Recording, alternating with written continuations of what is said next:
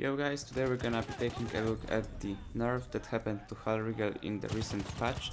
It's got its recoil increased by 14.3%. The difference is pretty significant. We will see if it's still worth using or not. Truth be told, the gun is not as good as it used to be before the patching, but it's still very good gun compared to the other ones. If you're using the Hellriegel to play between short and medium range, you will be just fine.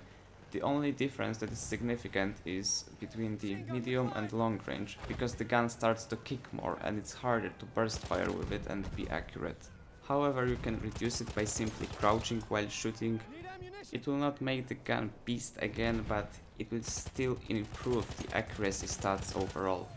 Best playstyle to be effective with the Hellriegel is something like semi-offensive, and what I mean by semi-offensive is not to engage too much in the front line and by front line I mean this very very front line with the shotguns and automaticos because you will 100% lose every fight 1v1 between experienced player with automatico or shotgun.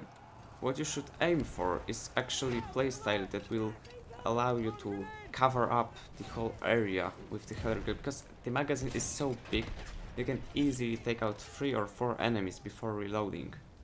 Just remember to keep the distance between you and the enemies between like 10 to 30 meters because that range is the most effective for the Hellriegel and you will be just wrecking everyone. It's also good to have some teammate running support class, because trust me, you will run out of ammo very quick. Overall, the gun is still great and you don't really have any other option to go for, because there is nothing compared to Hellriegel for an assault class. However, I don't think that DICE's decisions are good at the moment, with the ideas for balancing the game. Personally, I think they should reconsider everything they do, because Instead of nerfing the good guns, I think we should start with buffing the bad ones and then slowly start the balancing process. Right now, we got Hellriegel nerfed and I do not think that the gun was even good after the previous patch, because after the release, for me it was fine, it's only got 120 bullets together, so it is not that much.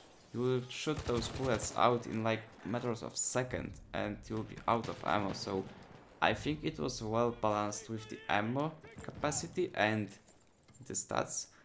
As for now, I don't know if it will really be worth using long term. If they buff some of the support weapons, I think that everyone will just leave playing Assault because of that. Remember, this is not me whining about the game having no content, but it's it's true. Like there is no other weapon to choose from for the assault. We have MP18 which is so bad that barely anyone uses it and I think that only people that use it are actually the ones who haven't unlocked other guns yet.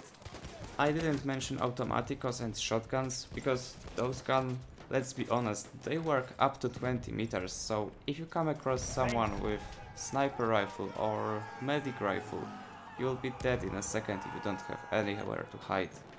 Having said that, thank you for watching guys. I don't want this video to be longer because there is really no reason for that. I don't want to make this 10 minutes of talking bullshit about Hellriegel. I've said everything you need to know about it and if you enjoyed, remember to leave a like, subscribe and I see you on the battlefield.